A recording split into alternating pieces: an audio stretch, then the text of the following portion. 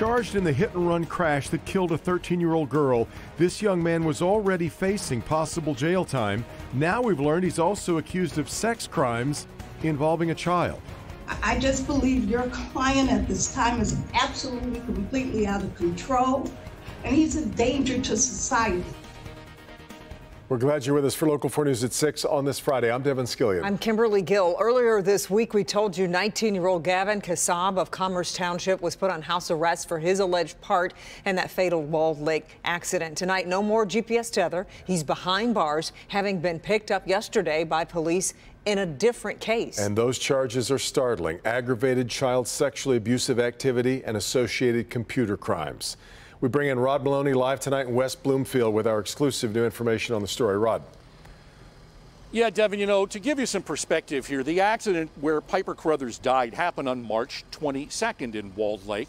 And police say it was a police chase and that Gavin Kassab was actually broadcasting that chase live on social media. And yet, a mere five days before that, West Bloomfield police had gone to Kassab's home, had served search warrants, took his phones and his computer in a case that he's now charged with involving felonious sex with a child. Gavin Anthony Kassab, Your Honor. The 19 year old appeared in not one but two different video felony arraignments this morning. Oakland County prosecutor Mark Keast revealing. The allegations are that when the defendant was 18 years old, he enticed a minor to perform a sexual act, and then he disseminated that that sexual act because he videotaped it, Judge. He disseminated the video. West Bloomfield Deputy Police Chief Kurt Lawson telling Local 4 the victim's family brought the case to his department back in early March. They had alleged that they had been harassed over a series of months and that they've been given illicit photos, illicit videos over electronic devices.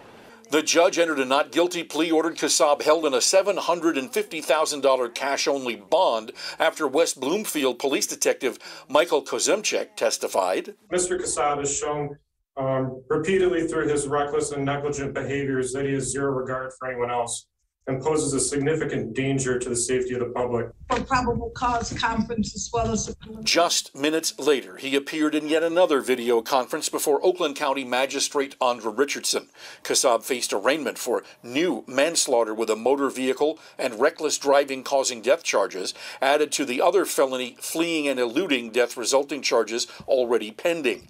Magistrate Richardson increased the then quarter of a million dollar cash bond to 750 $50,000 cash, telling Kassab's attorney. I just believe your client at this time is absolutely, completely out of control, and he's a danger to society. And so Kassab now sits in the Oakland County Jail tonight on a 100 and make that a 1.5 million dollar cash bond that he has to be able to make if he wants to get out before his hearings, which are due up in the next month or so. Back to you. Well, Rod, I imagine for the judges, the timing of these cases so close together, that's a big issue, right? Yeah, in fact, it was troubling to Judge Richardson and Magistrate Richardson. I'll tell you what she said. She said he was allowed to go on a family vacation, and then he picks up another case while waiting to go on vacation. And while he's on vacation, the victim's family is planning their daughter's funeral. Mm. That bothered her wow. greatly. Yeah, no doubt. All right, Rod.